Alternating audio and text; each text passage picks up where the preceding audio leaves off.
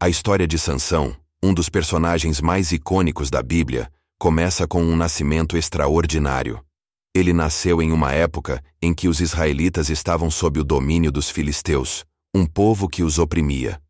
Sansão, no entanto, tinha uma origem divina, pois sua mãe concebeu após um anjo do Senhor aparecer a ela. Este anjo anunciou o nascimento de Sansão e instruiu sua mãe a observar regras específicas durante a gravidez, incluindo a abstenção de vinho e produtos fermentados. O nascimento de Sansio foi acompanhado por um sinal divino notável. Ele nasceu como uma força sobrenatural. Essa força era um dom de Deus e manifestou-se desde a infância de Sansio.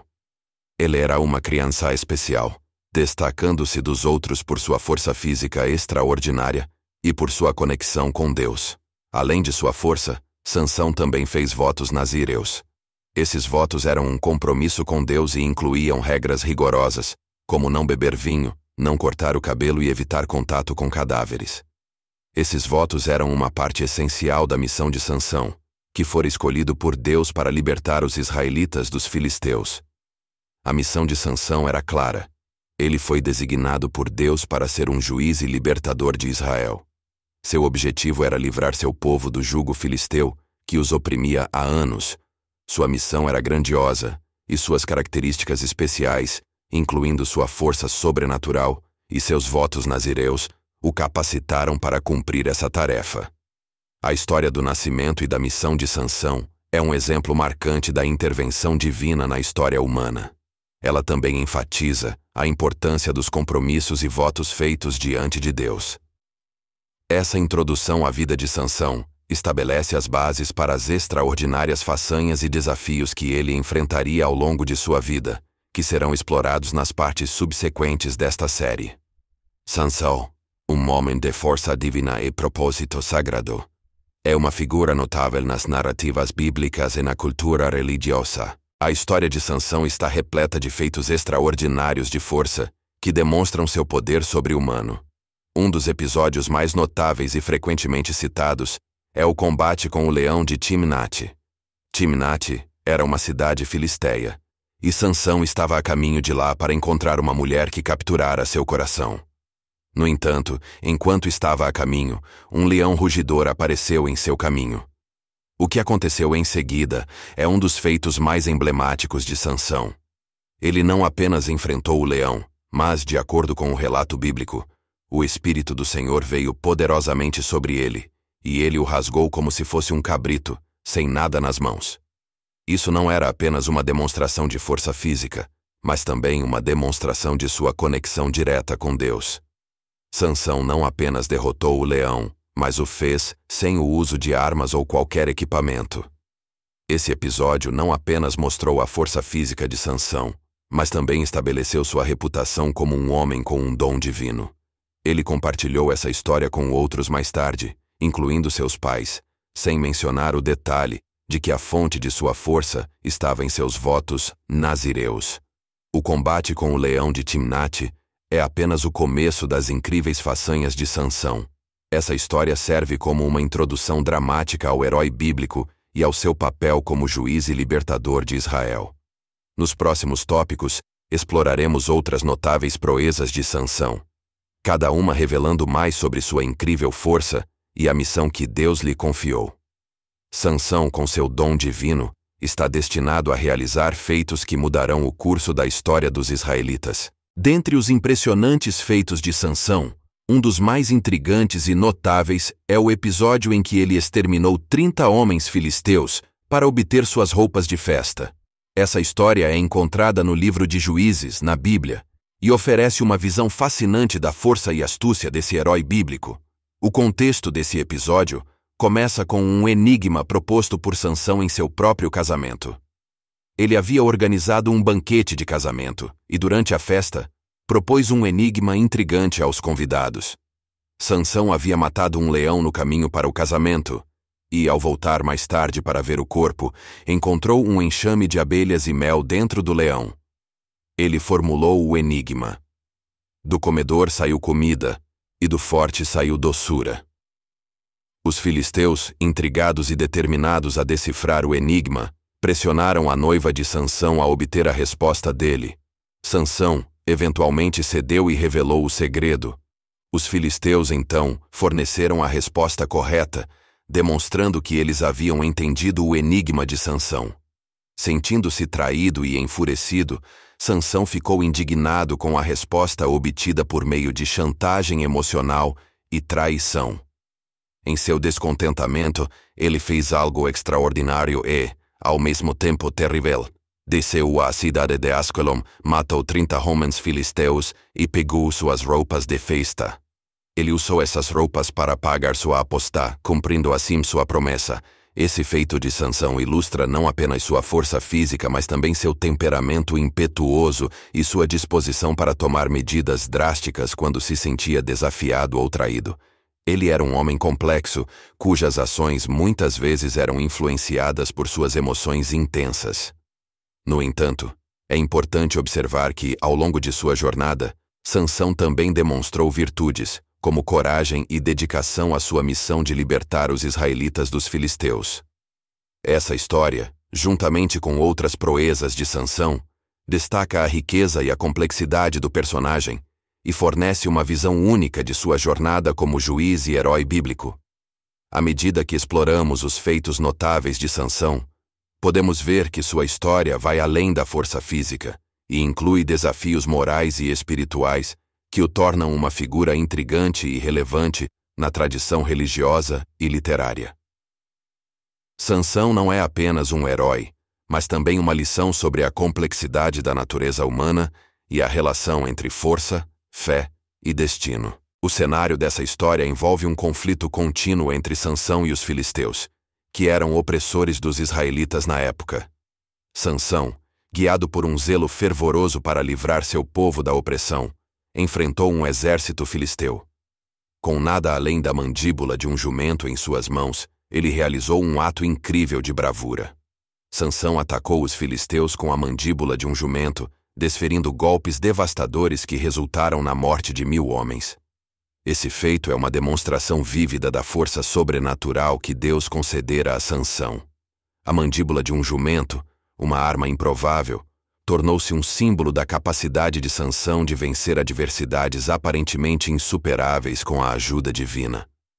Além do aspecto físico da história, esse episódio também ilustra o compromisso de Sansão com a sua missão como juiz de Israel. Ele estava disposto a arriscar sua própria vida para enfraquecer o domínio dos filisteus sobre seu povo. Sua determinação e coragem são aspectos fundamentais de sua personalidade. No entanto, à medida que a história de Sansão se desenrola, também vemos suas fraquezas e contradições. Sua relação com Dalila, por exemplo, levou à revelação de seu segredo e à subsequente captura pelos filisteus. Essas complexidades tornam Sansão uma figura cativante e tridimensional. Um dos episódios mais marcantes de sua vida é a destruição do templo de Dagon, que destaca não apenas sua força física, mas também sua fé e sua dedicação à missão dada por Deus. O contexto dessa história envolve a captura de Sansão pelos filisteus após a traição de Dálila, que descobriu o segredo de sua força e o entregou a seus inimigos, os filisteus o prenderam, cegaram e o mantiveram sob vigilância constante. No entanto, eles não tinham ideia do que estava por vir. Sansão, apesar de cego e enfraquecido, manteve sua fé em Deus e buscou a oportunidade de se vingar dos filisteus por suas ações. Ele soube da celebração em um templo dedicado ao deus Dagon, onde os principais líderes filisteus estavam presentes e pediu para ser levado até as colunas centrais que sustentavam o edifício. Com uma prece a Deus, Sansão recuperou parte de sua força sobrenatural. Ele se posicionou entre as colunas e, com um esforço supremo, empurrou as colunas para derrubar o templo. O resultado foi catastrófico. O templo de Dagon desabou, matando Sansão e todos os filisteus presentes, incluindo os líderes. A destruição do templo de Dagon é um evento marcante na vida de Sansão pois simboliza não apenas sua vingança pessoal contra os filisteus, mas também sua dedicação a Deus e a causa de libertar seu povo da opressão. A história destaca a importância da fé e do propósito divino na vida de Sansão, mesmo diante de desafios e adversidades aparentemente insuperáveis. Além disso, A destruição do templo de Dagon também simboliza a derrota dos deuses filisteus diante do Deus de Israel. É um testemunho da supremacia do Deus de Sansão sobre os ídolos pagãos dos filisteus. Essa história continua a ser lembrada e estudada como um exemplo de como a fé e a determinação podem superar as maiores dificuldades. A história da traição de Dalila e a subsequente queda de Sansão é um dos episódios mais trágicos e complexos da narrativa bíblica. Ela lança luz sobre as fraquezas e os desafios morais que podem afetar mesmo os mais poderosos e devotos indivíduos, enquanto também fornece lições profundas sobre confiança, traição e as consequências de nossas escolas. A traição de Dalila começa quando os líderes filisteus abordam-na e oferecem uma grande recompensa em prata se ela conseguir descobrir o segredo da força de Sansão. Dalila, talvez motivada por ganância ou lealdade aos filisteus, começa a pressionar Sansão para revelar o segredo de sua força. Ela usa sua astúcia e encanto para convencê-lo a compartilhar essa informação íntima. Sansão, cegado por sua paixão por Dalila, cede à pressão e revela que seu segredo reside em seu cabelo não cortado, parte de seus votos nazireus. Ele confia plenamente em Dalila, acreditando que ela o ama verdadeiramente. No entanto, ele está prestes a aprender uma lição amarga sobre a natureza humana. Dalila, Assim que obtém a informação, aproveita a oportunidade para trair Sansão. Ela chama os filisteus, que cortam seu cabelo enquanto ele dorme. Com a perda de seu cabelo, a fonte de sua força sobrenatural é tirada, e Sansão fica vulnerável. Os filisteus, agora capazes de subjugar Sansão, o capturam e o cegam. Eles o levam para Gaza, onde é forçado a trabalhar como escravo. Essa reviravolta trágica marca o fim da era de juízes de Sansão e o início de seu período de sofrimento e reflexão. A traição de Dalila é um elemento crucial dessa história. Ela representa a quebra de confiança mais profunda e íntima, revelando como a ganância e a ambição podem levar à traição, mesmo entre aqueles que amamos e confiamos. O episódio também destaca a importância de nossas escolhas e as consequências que podem resultar delas.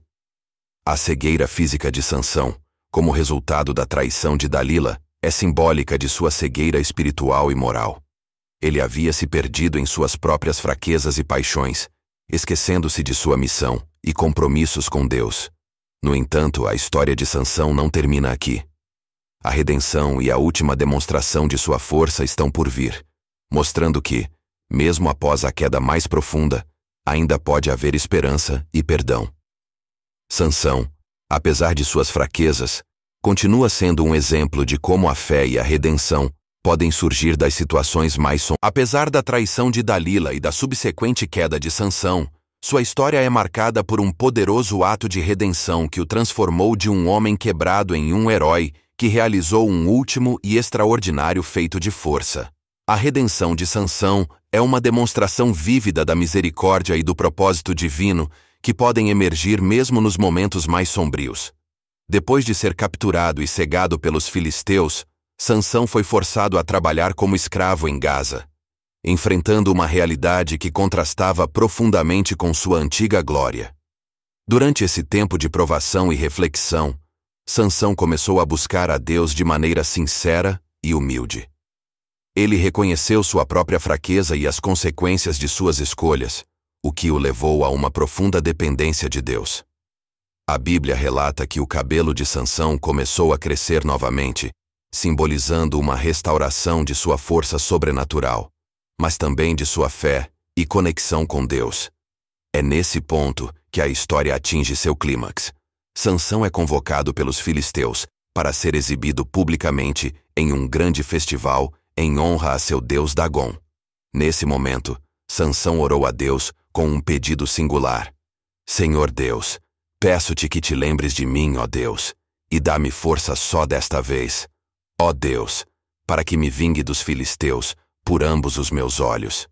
Deus atendeu a sua oração e restaurou sua força sobrenatural. Sansão, agora dotado de sua antiga força, estava determinado a cumprir sua missão de livrar Israel da opressão filisteia. Ele pediu que um menino o levasse até as colunas centrais do templo de Dagon, onde o festival estava ocorrendo. Lá, com um último esforço heróico, ele empurrou as colunas, fazendo com que o templo desabasse, matando a si mesmo e milhares de filisteus, incluindo seus líderes. A morte de Sansão é de muitas maneiras sua maior vitória e também sua redenção. Ele sacrificou sua própria vida para libertar seu povo e vingar as afrontas dos filisteus. Sua história ilustra a capacidade da fé e da redenção, mesmo nas circunstâncias mais adversas. Enfim, pessoal, espero que tenham gostado do conteúdo. Peço que se inscrevam no canal que vai me ajudar muito, se puder deixar o gostei no vídeo e também deixar a sugestão no próximo vídeo. Muito obrigado e até a próxima.